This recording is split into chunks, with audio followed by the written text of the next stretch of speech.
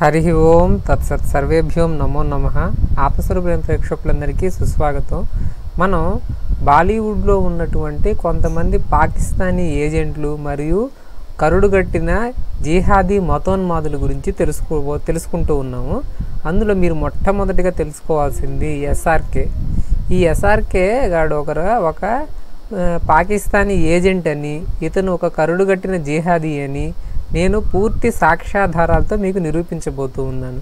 దీనికి ముందు నేను ఇతను చేసినటువంటి కొన్ని ఆశ్చర్యకరమైనటువంటి ఇంకా ఎవరికీ తెలియనటువంటి ఒక రెండు ఇతను చేసిన రెండు గొప్ప ఘనకార్యాల గురించి నేను చెప్తాను. తరువాత ఇతను ఒరిజినల్గా ఎవరు పాకిస్తాన్కి ఇతనికి సంబంధం ఏమిటి అనేది తర్వాత రివీల్ చేస్తాను. చివరి దాకా చూస్తేనే మీకు ఇతని యొక్క పూర్తి నిజస్వరూపం అనేది తెలుస్తుంది. ఇందులో మొట్టమొదటి సంఘటన ఏమిటంటే రెండు వేల పద్దెనిమిదో సంవత్సరంలో మన భారత ప్రభుత్వం అఫీషియల్గా బెంజమిన్ నేతన్యాహు గారిని ఇజ్రాయిల్ ప్రధానమంత్రి అయినటువంటి ఆయన్ని మన మన మన వాళ్ళు ఆహ్వానించారు. ఆయన వచ్చిన తరువాత ఆయన ఈ భారతదేశంలోని అనేక పరిశ్రమల యొక్క ఆయా ముఖ్యమైన వ్యక్తులతో సమావేశమయ్యారు. అలా ఆయన ఒకరోజు సాయంత్రం బాలీవుడ్లోని ప్రముఖులందరితో కూడా సమావేశం అయ్యేలాగా మన ఎంఈఏ అంటే మినిస్ట్రీ ఆఫ్ ఎక్స్టర్నల్ అఫైర్స్ అనేటువంటి ప్రభుత్వ శాఖ ఏర్పాటు చేసింది. ఆ ఎంఈఏ ఏర్పాటు చేసిన సలాం బాలీవుడ్ ష- షలోం బాలీవుడ్. షలోం సలాం ఇవి రెండు ఒక్కటే. సలాం అనే పదం షలోం నుంచే వచ్చింది. షలోం నుంచి సమా సలాం పదాన్ని తయారు చేసుకున్నారు ఇస్లామిక్ సంస్కృతిలో. ఇక్కడ ఏ ఇక్కడ ఏమైందంటే ఆ కార్యక్రమానికి అమితాబ్ బచ్చన్ ఇంకా అనేక మంది ప్రముఖులు హాజరయ్యారు. కానీ ఆ కార్యక్రమానికి మన ఖాన్ త్రయం మాత్రం ఎగ్గొట్టింది. ఈ ముగ్గురు ఖాన్లు మాత్రం ఆ కార్యక్రమానికి ముఖ్య అతిథులుగా వాళ్ళని ఆహ్వానించినప్పటికీ వాళ్ళు ఈ కార్యక్రమానికి రాలేదు. ఎందుకు రాలేదంటే వాళ్ళకి ఇజ్రాయిల్ అంటే ఇష్టం లేదు. ఎందుకు ఇష్టం లేదు? వాళ్ళ యొక్క మతానికి ఇజ్రాయిల్ వ్యతిరేకమని వాళ్ళకి ఇష్టం లేదు. ఇప్పుడు ఇజ్రాయిల్ ప్రభుత్వం మరియు ఇజ్రాయిల్ ప్రజలు అనేవాళ్ళు ఎప్పుడూ కూడా వాళ్ళు భారతదేశానికి తమ సంపూర్ణ సహకారాన్ని అందించారు. కార్గిల్ యుద్ధం జరిగినప్పుడు ఇజ్రాయిల్ వాళ్ళు మనకి కొన్ని ఆయుధాలను ఇచ్చారు ఇంకా మనకి చాలా కీలకమైనటువంటి ఇంటెలిజెన్స్ ఇన్ఫర్మేషన్ని తమ యొక్క శాటిలైట్ల ద్వారా వాళ్ళు మనకు అందించారు. ఇంకా అనేక సందర్భాల్లో యునైటెడ్ నేషన్స్లో ఇజ్రాయిల్కి ఇజ్రాయిల్ మనకి సపోర్ట్ చేసింది. సరే ఇజ్రాయిల్ సంగతి పక్కన పెట్టేద్దాం. భారత ప్రభుత్వం అఫీషియల్గా ఆహ్వానించినప్పుడు వీళ్ళు ముగ్గురు రావాలా వద్దా? రాలేదు. వాళ్ళు దాన్ని బాయ్కాట్ చేశారు. అటువంటిప్పుడు వాళ్ళ సినిమాలను బాయ్కాట్ చేయడంలో తప్పేంటి? తరువాత ఇప్పుడు వస్తుంది అసలైన ఇది.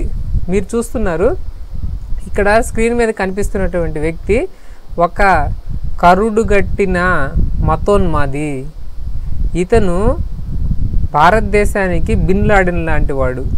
ఇతనే భారతదేశంలో జరుగుతున్నటువంటి ప్రతి ఉగ్రదాడి వెనకాల సూత్రధారి మరియు ఒక టాప్ లెవెల్ స్ట్రాటజిస్ట్ అనమాట ఇతను.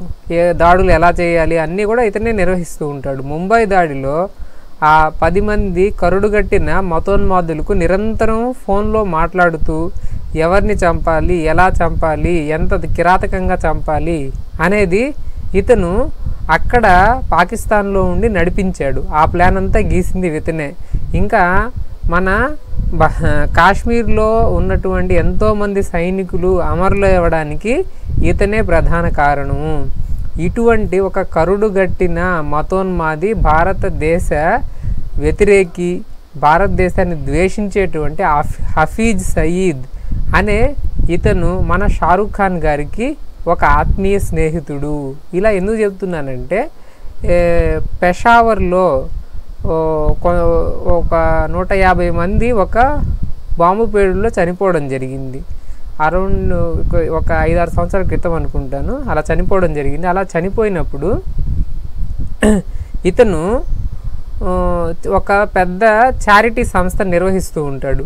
ఇతను అక్కడ పాకిస్తాన్లో ఒక సమాజ సేవకుడిగా కొన్ని ఎన్జిఓ సంస్థలు నడిపిస్తూ ఉంటాడు. ఆ ఎన్జిఓ సంస్థలకి పాకిస్తాన్ నుంచి భారతదేశం నుంచి ఇంకా ప్రపంచంలోని అన్ని ఇస్లామిక్ దేశాల నుంచి కొన్ని వేల కోట్ల రూపాయల ఫండ్ అనేది వస్తూ ఉంటుంది. వీళ్ళ యొక్క ఎన్జిఓలు కేవలం బయటికి కనిపించేటువంటి ఒక డొల్ల సంస్థలు మాత్రమే. ఆ ఎన్జిఓల నుంచి వచ్చే డబ్బునంతా కూడా ఇతను నిజానికి దేనికి వాడుతున్నాడు?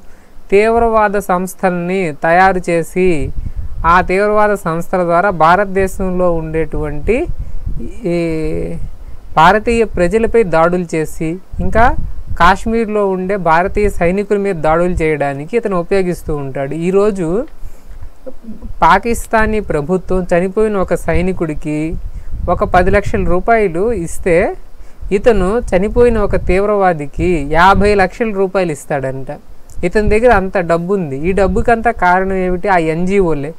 ఈ ఎన్జి అటువంటి హఫీజ్ సయీద్కి చెందిన ఎన్జిఓలకి మన షారూఖ్ ఖాన్ గారు నలభై ఐదు కోట్ల రూపాయలను డొనేట్ చేశారు. ఎందుకు డొనేట్ చేశామంటే ఆ పాకిస్తాన్ తీవ్రవాద దాడిలో కొంతమంది గాయపడితే వాళ్ళకి హఫీజ్ సయీద్ నిర్వహించేటువంటి కొన్ని ఎన్జిఓలు సహాయం చేస్తూ ఉంటే వాటికి షారూఖ్ ఖాన్ గారు ఈ నలభై ఐదు కోట్లు ఇచ్చారంట. ఈ ఎన్జిఓలన్నీ ఫ్రాడ్ అండి.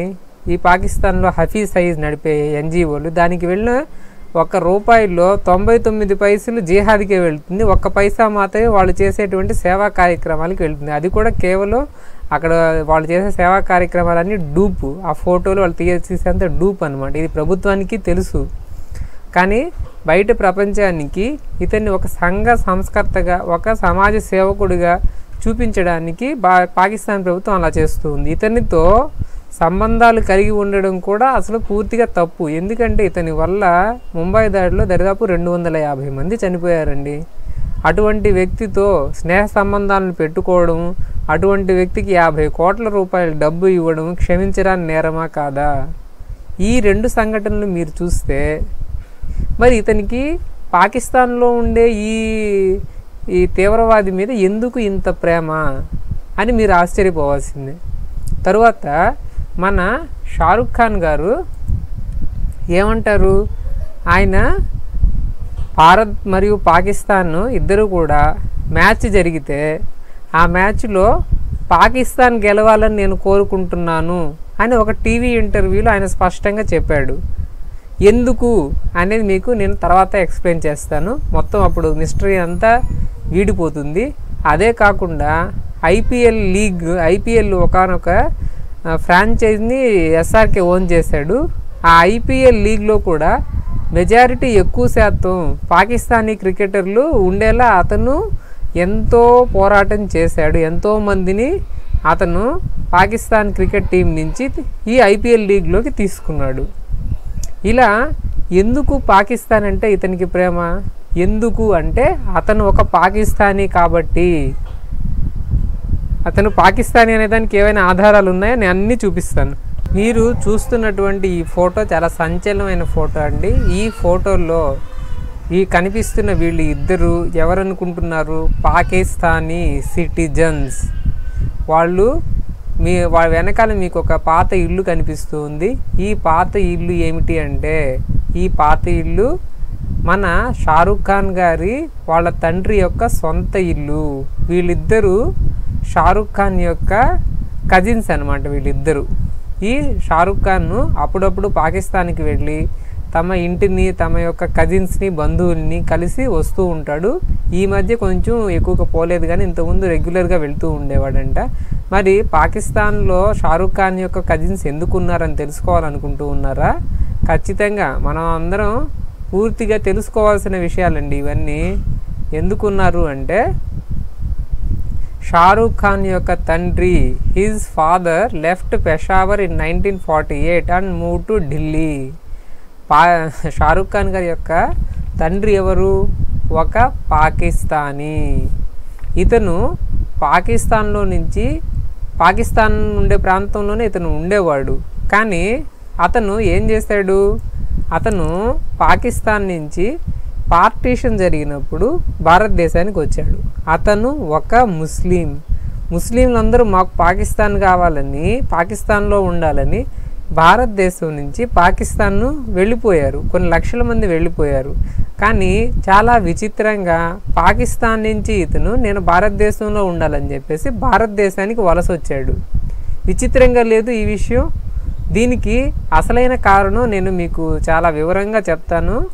పాకిస్తాన్ యొక్క ఐఎస్ఐ అనే ఒక సంస్థ ఉంది. ఆ సంస్థ పాకిస్తాన్ పుట్టినప్పటి నుంచి ఆ సంస్థ తయారైంది. పాకిస్తాన్ వాళ్ళు చాలా తెలివిగా పార్టీషన్ జరిగినప్పుడు ఏం చేశారంటే అక్కడ పాకిస్తాన్లో ఉన్నటువంటి కొంతమంది కరుడుగట్టిన జిహాదీల్ని భారతదేశంలోకి పంపించారు. వాళ్ళు భారతదేశంలో ఉంటూ ఇక్కడ పౌరసత్వాన్ని పొంది ఇక్కడ అనేక రకాలుగా వ్యాపారంలో ఇంకా అనేక రకాల వృత్తుల్లో జీహాద్ను కొనసాగిస్తూ భారతదేశాన్ని ఇస్లాం దేశ ఇస్లామిక్ రిపబ్లిక్గా మార్చడం వాళ్ళ యొక్క ఉద్దేశం అందుకోసం ఆ కుట్రలో భాగంగా పాకిస్తాన్ ఎంతోమందిని భారతదేశంలోకి పంపించింది.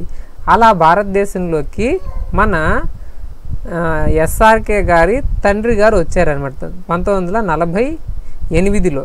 నలభై ఎనిమిదిలో ఇక్కడికి వచ్చిన తర్వాత మరొక కాశ్మీరీ ముస్లింని పంతొమ్మిది వందల యాభై తొమ్మిదిలో ఆయన వివాహం చేసుకున్నాడు. అలా వివాహం చేసుకున్న తరువాత షారూఖ్ ఖాన్ గారు జన్మించారు. ఇది షారూఖ్ ఖాన్ యొక్క అసలు ఇది ఈ అసలు భారతదేశంలో పుట్టినటువంటి ఈ టోపీ మతం వాళ్ళకి ఈ దేశం అంటే అభిమానం ఉండదు. మరి పాకిస్తాన్ నుంచి వచ్చిన ఇతనికి కానీ ఇతని భార్యకు కానీ ఇతని యొక్క కొడుకులకి ఇతని యొక్క సంతానానికి భారతదేశం పైన అభిమానం ఉండాలని అనుకోవడం అత్యాస అవునా కాదా? మీరే నాకు చెప్పండి. పంతొమ్మిది వందల అరవై ఐదులో షారుఖ్ ఖాన్ గారు జన్మించారు. ఈ షారుఖ్ ఖాన్ గారి కజిన్ పేరు నూర్ జహాన్. ఈ నూర్ జహాన్ నేను ఇంతకుముందు ఫోటో చూపించాను కదండి ఈమె పేరు నూర్ జహాన్ అంట. చూసారా? వాళ్ళ పేర్లన్నీ కూడా మన మొఘలు రాజుల యొక్క పేర్లను పోలి ఉన్నాయి చూసారా? వీళ్ళందరూ బహుశా ఆ మొఘలు రాజులు పరిపాలించినప్పుడు భారతదేశాన్ని దోచుకు తిన్న ఆ దోపిడీ జాతికి సంబంధించిన వాళ్ళేమో అని నా యొక్క అభిప్రాయం. తర్వాత ఇతను అప్పుడప్పుడు పాకిస్తాన్కి వెళ్ళి వస్తూ ఉండేవాడంట. నైన్ ఫోర్టీన్ ఫిఫ్టీన్ ఇయర్స్ ఏజ్లో రెగ్యులర్గా పాకిస్తాన్కి వెళుతూ ఉండేవాడంట. తర్వాత వాళ్ళ ఫాదర్ చనిపోయిన తర్వాత కొంచెం తగ్గించాడంట. కానీ వాళ్ళ ఫాదర్ మాత్రం ఇతనికి పాకిస్తానీ తీవ్రవాదాన్ని ఉన్మాదాన్ని పూర్తిగా బుర్రలో ఎక్కించాడు. తరువాత ఇతను ఇతని ఇతని పాకిస్తానీ బంధువులు కూడా ఇతని ఇంటికి ఇండియాకు వచ్చి పోతూ ఉంటారంట. తర్వాత ఇంకా ఆశ్చర్యకరమైన విషయాలు ఉన్నాయండి ఇతని యొక్క ఈ కజిన్ సిస్టర్ నూర్ జహాన్ అనే ఆమె రెండు వేల పద్దెనిమిదిలో పాకిస్తానీ ఎలక్షన్లో కూడా ఆమె నామినేషన్ వేసింది. తరువాత షారూఖ్ ఖాన్ యొక్క తండ్రి పాకిస్తానీ షారూఖ్ ఖాన్ యొక్క తాత అంటే వాళ్ళ తండ్రి యొక్క తండ్రి ఆఫ్ఘనిస్తానీ ఇతను ఆఫ్ఘనిస్తాన్ నుంచి పాకిస్తాన్ ప్రాంతంలోకి వచ్చి జిహాద్ను కొనసాగించాడు. తరువాత భారతదేశం విడిపోయినప్పుడు భారతదేశంలోకి ఇతను ఒక శరణార్థిలాగా వచ్చేసి ఇక్కడ తన జిహాద్ని కంటిన్యూ చేశాడు. తన జిహాద్ని కంటిన్యూ చేసే బాధ్యతని అతను చివరికి మన షారుఖ్ ఖాన్ గారికి అప్పగిచ్చాడు. షారుఖ్ ఖాన్ ఆ జిహాద్ని చాలా బాగా గట్టిగా కొనసాగిస్తూ ఉన్నాడు. అది నేను చెప్పాల్సిన అవసరం లేదు. అతన్ని ఎంత రిచ్ అయ్యాడు సినిమాల ద్వారా ఎంత సంపాదించాడు ఆ సంపాదించిన సంపాదనలో ఏ విధంగా పాకిస్తాన్లోని ఎన్జిఓలకి డబ్బు ఇచ్చి ఎన్జిఓల ద్వారా అతను ఇలా ఇండైరెక్ట్గా తీవ్రవాదులకి ఫండింగ్ చేస్తున్నాడు అనేది మీకు నేను చాలా వివరంగా ఆల్రెడీ చూపించాను. ఇతనికి ఇతను ఒక టీవీ షోలో ఈ ఈ విషయం చెప్పాడు. ఇతను ఇదేమి మేమేమి పరిశోధన చేసి కనిపెట్టింది కాదు. అతను టీవీ షోలో ఏమని చెప్పాడంటే మా తండ్రి ఒక పాకిస్తానీ కాబట్టి ఎప్పుడైనా క్రికెట్ మ్యాచ్ జరిగేటప్పుడు పాకిస్తాన్ కనుక గెలిస్తే నేను అందరికీ స్వీట్లు పంచుతాను పాకిస్తాన్ కనుక గెలిస్తే నేను ఆనందపడతాను టపాకాయలు కాలుస్తాను అని అతను బహిరంగంగా చెప్పాడు. అతన్ని ఇది తప్పు కాదా అంటే మా తండ్రి గారు పాకిస్తానీ కదండి మరి నాకు పాకిస్తాన్ మీద అభిమానం ఉండడంలో తప్పేముంది అని అతను ప్రశ్నించాడు. సరే బాగానే ఉంది. మరి ఇన్నాళ్ళు హిందువులందరూ కూడా ఇతను ఒక ఇండియన్ అని నమ్మారు. అది తప్పని అతనే వివరించాడు కానీ ఆ విషయం ఎక్కువ వైరల్ అవ్వలేదు. ఆ వీడియోలు కూడా కొన్ని ఉన్నాయి. నేను తర్వాత అవన్నీ సేకరించే ప్రయత్నం చేస్తాను.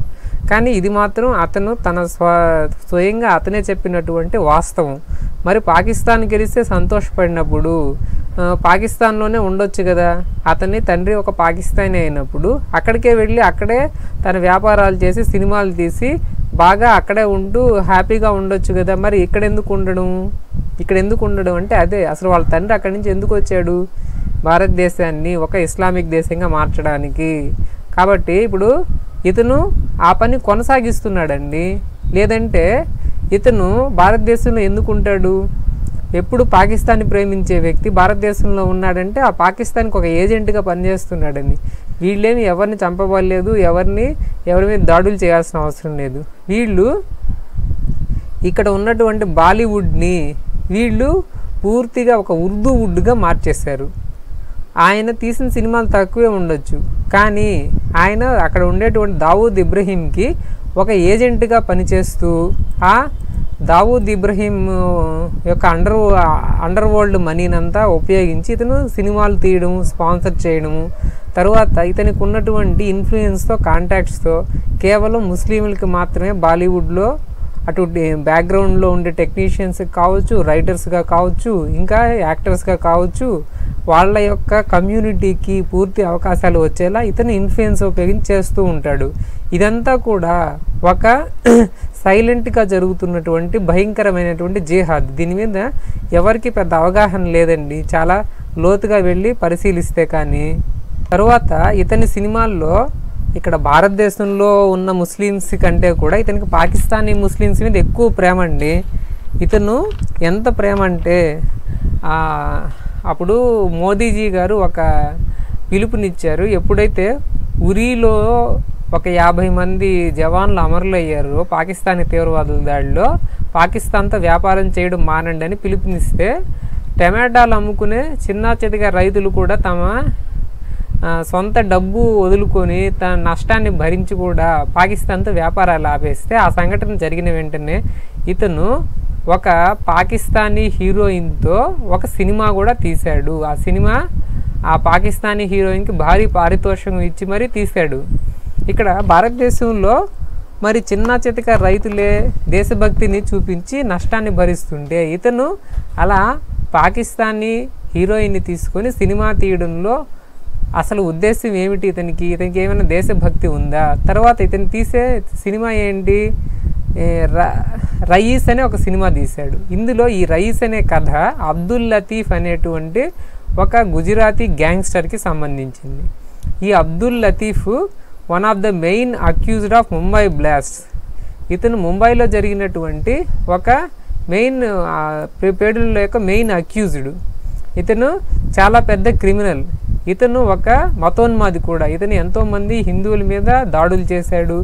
ఎంతోమంది హిందువుల్ని చంపేశారు కూడా. అటువంటి అబ్దుల్ లతీఫ్ పేరుతో ఇతను ఆ లతీఫ్ యొక్క కథతో ఒక సినిమా నిర్మించడమే కాకుండా అందులో ఈ అబ్దుల్ లతీఫ్ని ఒక గొప్ప వ్యక్తిలాగా ఒక చాలా మంచి హృదయం ఉన్నటువంటి ఒక గొప్ప వ్యక్తిలాగా ఇతను తప్పుగా చూపించాడు. అతను పరమత సహనం చూపించినట్టు అతను హిందువుల్ని బాగా చూసుకున్నట్టు గౌరవించినట్టుగా చూపించాడు. కానీ అది వాస్తవానికి పూర్తి విరుద్ధంగా ఉంది. లేటర్ చూడండి అహ్మదాబాద్లో later by a terror underworld axis use to tell only one thing to the voters when you go to vote don't forget Latif that was the time when the terror mafia don Abdul Latif was at speak in Gujarat and was the most hated name in Hindu households a ఇతను అక్కడ local ఎలక్షన్లో Congress party తరపున పోటీ చేసేవాడంట. అలా పోటీ చేసినప్పుడు అతను హిందువుల్ని బెదిరించేవాడు. మీరు కనుక నాకు ఓటేయకపోతే నేను మీ ఇల్లు పో పగలగొట్టేస్తాను మీ ఇంట్లో అమ్మాయిలను ఎత్తుకోపోతాను చంపేస్తాను అని. హిందువులు అతని పేరు వింటేనే భయపడేవాళ్ళంట. Having finished all Hindu gangs in Ahmedabad ఇతను చిన్న చిన్న చిన్న చిత్తగా హిందువులు ఏదో సెటిల్మెంట్లు అలా చేసుకుంటూ ఉంటే ఆ హిందూ గ్యాంగులందరినీ కూడా ఇతను చంపేశాడు ఈ అబ్దుల్ లతీఫ్ అనే అతను. ఇతను కేవలం ఒక ముస్లిం గ్యాంగ్స్ అన్నిటినీ మాత్రం ఉండనిచ్చి వాళ్ళన్నిటినీ కలిపి ఇతను ఒక యూనిటీగా తయారు చేసి హిందువులు ఈ చిన్న చిన్న సెటిల్మెంట్లో మాఫియాల్లో అసలు లేకుండా చేసి వాళ్ళందరినీ పూర్తిగా తుడిచిపెట్టేశాడు. తర్వాత ఈ అబ్దుల్ లతీఫ్ అనే అతను ఎవరి పేరుతో అయితే షారుఖ్ ఖాన్ సినిమా తీశాడో ఆ? అబ్దుల్ లతీఫ్ అనే అతను తర్వాత దావూద్ ఇబ్రహీంతో సంబంధాలు పెట్టుకున్నాడు. ఆ దావూద్ ఇబ్రహీంతో సంబంధాలు పెట్టుకోవడమే కాదు. ఇంకా అతను పంతొమ్మిది వందల తొంభై రెండులో జరిగినటువంటి బాంబు పేలుళ్ళలో దావూద్ ఇబ్రహీంకి అతను లాజిస్టిక్స్ ఇచ్చాడు. అక్కడ నుంచి దానికి కావాల్సినటువంటి ధనం సమకూర్చాడు. ఇంకా పేలుడు పదార్థాలు సమకూర్చాడు. ఇలా ఇతను చేయనటువంటి వెధవ పనులు లేవు. ఇతని పేరుతో ఇతను అతను హీరోగా చూపిస్తూ షారూఖ్ ఖాన్ అనేటువంటి ఒక మతోన్మాది సినిమా తీయడం ఎంతవరకు సమంజసం అనేది మీరే ఆలోచించుకోవాలి. చివరగా పాకిస్తాన్ గురించి మన ఎస్ఆర్కే గారు చెప్పినటువంటి ఆ వాక్యాలు నేను యథాతథంగా చదివి వినిపిస్తానండి. It Pakistan Pakistan is a great neighbour to have. We are great neighbours they are good neighbours let us love each other అని చెప్పేసి ఇతను ఒక ఇంటర్వ్యూలో చెప్పాడు. అంటే పాకిస్తాన్ అంట చాలా మంచి నైబర్ అంట. మనం పాకిస్తాన్ని ప్రేమించాలంటే వాళ్ళు మాత్రం ప్రేమించరు. మన ముడ్డి కింద బాంబులు పెడతారు. అయినా కానీ పాకిస్తాన్ని మనం ప్రేమించాలి. తర్వాత let let me be honest my family is from Pakistan my father was bond there and his family is from there అని ఇతను కుండ బద్దలు కొట్టినట్టు తన బండారం తానే బయట పెట్టుకున్నాడని తన బండారం నేను ఇంతకుముందు మీకు చెప్పా కదా అది మేమే పరిశోధించింది కాదు అది అతనే బయట పెట్టుకున్నాడని. ఇంకా ఇంత దూరం చెప్పిన తర్వాత కూడా ఈ ఎస్ఆర్కే అనే వ్యక్తి ఒక మంచి హీరో గొప్ప హీరో బాగా నటిస్తాడు. ఇతను చాలా మంచివాడు అతని నటన బాగుంటుంది సినిమాలు బాగుంటాయి అని ఇంకా వాడి సినిమాలు చూస్తా ఉంటే హిందువుల్ని ఎవరూ కాపాడలేరు. మీరు డిడిఎల్జీ సినిమా తీసుకోండి అతని యొక్క ఫేమస్ మూవీ. అందులో హీరోయిన్ నమాజ్ చేసినప్పుడు మంచి పనులు జరుగుతాయి అన్నమాట ఆమె కష్టాలు వస్తే నమాజ్ చేస్తే ఒక హిందూ హీరోయిన్ అప్పుడు ఆమెకి ఆ కష్టాలని తొలగిపోయినట్టుగా చూపించారు. ఇది ఇండైరెక్ట్గా సాఫ్ట్గా హిందువుల్ని ఒక ఇస్లాం మతంలోకి మార్చడానికి జిహాద్కి గురి చేయడానికి వీళ్ళు చేసినటువంటి కుట్ర వీళ్ళు పన్నినటువంటి కుట్ర. కాబట్టి ఇప్పటికైనా ఇతని యొక్క నిజ స్వరూపం తెలుసుకొని ఇతని యొక్క రాబోయే అన్ని సినిమాలను బాయ్కాట్ చేసి చేస్తే మంచిదని నా అభిప్రాయం. దీనిపై ప్రేక్షకులే ఆలోచించుకోవాలి ఒక నిర్ణయం తీసుకోవాలి. హరి ఓం.